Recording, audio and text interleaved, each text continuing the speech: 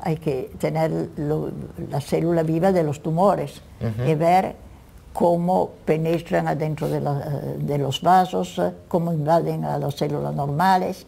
Eh, son todos fenómenos vivos, ¿no? Así que eh, el hecho de mantener el cultivo de tejido ha sido de una importancia tan enorme que yo cada dos años daba un curso, daba un curso que todavía se dio este año, todavía ah, se dio este año, el curso de cultivo de tejido porque no había nadie, ahora, ahora habrá mucha más, gente, pero mm, durante muchos años yo era la única que daba un curso de cultivo de tejido porque el cultivo de tejido servía para muchas cosas, ¿no? ¿Usted se siente reconocida yo tuve, tuve mucho reconocimiento acá, sí, mucho, mucho premio. Tengo ahí una, docena ahí, una docena ya.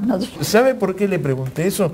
Porque justamente llega un momento en la vida que a uno le pueden dar premios y realmente no, significan mucho más que un mm. reconocimiento pasajero de algo, ¿no?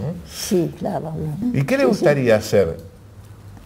Ah, si yo tuviese la vista, trabajaría.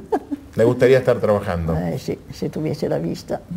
No puedo ni leer, ni leer, nada. Bueno, pues usted tiene una suerte en ese aspecto, eh. porque yo conozco algunas, algunas personas que una vez por semana viene a conversar con usted, pero y le lee diarios, le lee libros. Sí, sí, sí, me lee. Tengo, tengo varias, tengo varias. ¿Y qué les pide que le lean?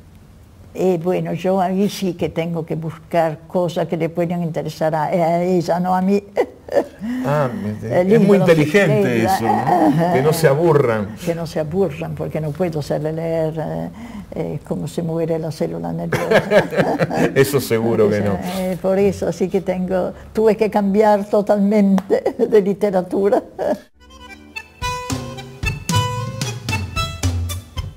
Espero que esta charla a la que usted asistió durante una hora le haya resultado interesante.